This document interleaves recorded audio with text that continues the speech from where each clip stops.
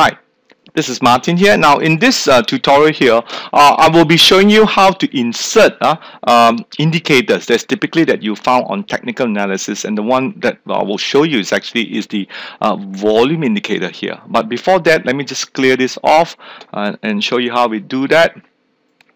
Okay, we put it down here. So typically a lot of the uh, charts that you see here tend to may not have any volume. So I'll just clear this too just to show you how I delete them right? Uh, what I'll be doing, I will just be putting one of the indicators which is very popular in technical analysis is moving average, okay? Moving average and volume. So this is in any technical analysis chart, you can see this is basically a very blank chart, okay? Uh, there is a button right below here which is a negative. Uh, this is zoom out and a positive to zoom in. So it's at the bottom right hand side of the chart. Left to zoom out, right to zoom in. Okay. And if you have this and on the top side there's a combo box here. Can you see this combo box? That's it's all the indicators that you have. Now I believe uh, Metastock has more than 150 indicators. At the same time there is also customized indicators that you can write MP program to but that's beyond the scope of this uh, very simple tutorial that we're doing. So what we want to do uh, first is actually to insert uh, a volume uh, into the chart. So remember volume, uh, this generally are sorted in alphabetical order. So volume is V, so we have just have to scroll right to the, notice this is in the middle part. Uh, about almost two-thirds down, you will see that's here the volume is. Now notice that the volume the bar has changed to a hand sign, meaning it is ready to be dragged into the charts. Okay, make sure you click on the volume.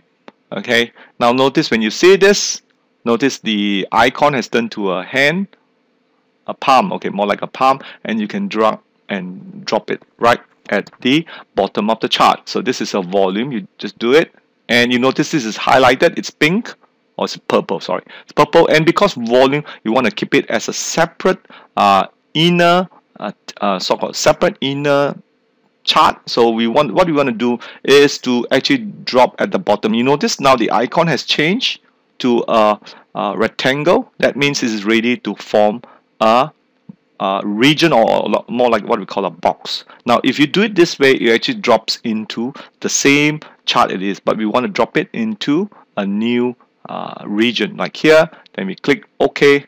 There you go. So we just minimize this and there you have it. We can also change the color of the volume here.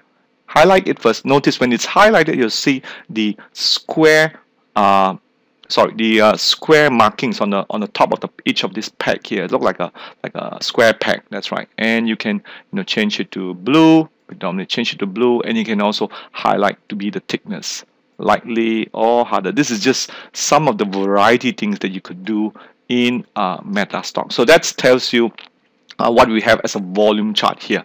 Now the next uh, indicator I want to show you is for the second one is the moving average. Okay, moving average again stands for M moving average. So it will generally be under M here. Uh, did we find it? Yes, again, this is moving average.